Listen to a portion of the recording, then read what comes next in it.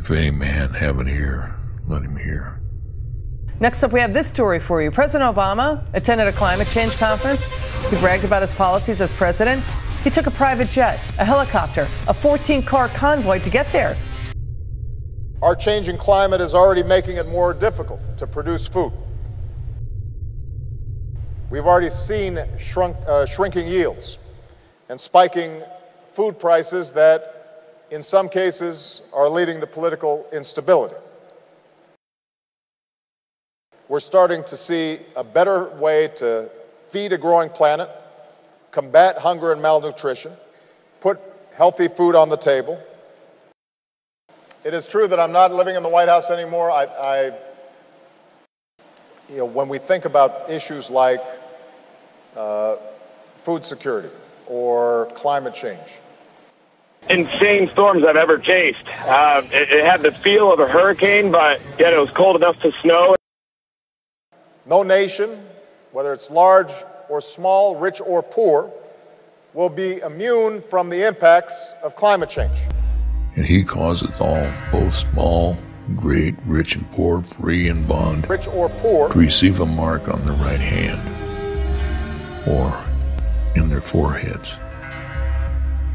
Then you could see hundreds of millions of people who suddenly find themselves unable to feed themselves because they're already at subsistence levels. If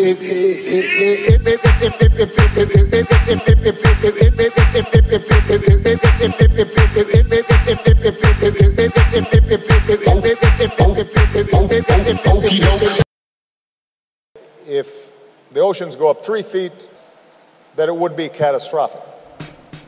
We should not question if there will be a great tribulation there will certainly be great tribulation, unlike ever seen before, nor will ever be seen again. God tells us in the Bible to be prepared. And if you want to avoid the tribulations, watch and pray that you may be counted worthy to escape. Then what we can anticipate is not only real threats to food security, but also increases in conflict as a consequence of scarcity. After the catastrophic event, a leader will arrive who promises to feed people at the cost of their own soul. At some point, we'll still need some big technological breakthroughs in order to yeah. discover new, uh, completely new ways of uh, producing energy. He will lie to the people of the earth and say that aliens from other planets are coming to help humans. He will appear to be a Savior, a Messiah, a Christ, but he is not the Christ. And his helpers are not aliens from other planets, they are demons that serve their master, Satan. And they hate humans and want to kill us because humans are made in the image of God and they hate God but they can't kill God. If you are outside of God's protection, you can be tormented by demons. Stay faithful to the Lord and call on the name of Jesus Christ, and He will help you. Because of us cracking the, the human genome, people that take the mark of the beast will wish to die, but death will flee from them technology and change and globalization because people will feel left behind. People, people will feel, feel left, left behind. behind. The people that miss the rapture are left behind. If you are left behind, God will guide you every step of the way through the tribulations if you will let Him. Do not take the chip. Don't lose your soul.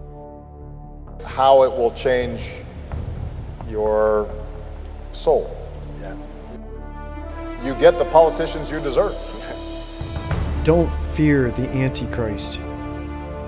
And don't worship the beast. Uh, food is a very emotional issue. Don't be fooled into giving up your soul for a portion of food. Stay faithful to the Lord Jesus Christ and keep your soul. Jesus Christ is the lover of your soul. He who is in you is greater than he that is in the world.